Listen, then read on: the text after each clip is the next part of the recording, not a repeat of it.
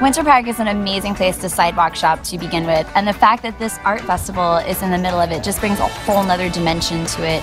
You're outside, walking around, it's a beautiful day, it's, it's great.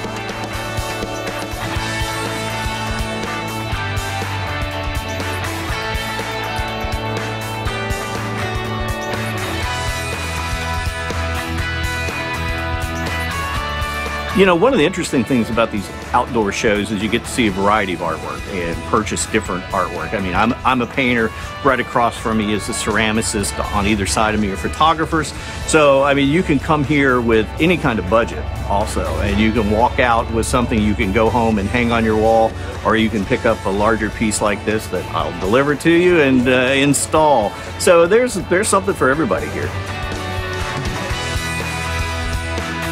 Last year, this show was voted one of the top five in the nation, which you know affects me on a lot of levels. I'm flattered to be juried in, you know, because I'm a national level artist, and uh, it's nice to feel that I still get it. I also think that brings a lot of serious art collectors. So.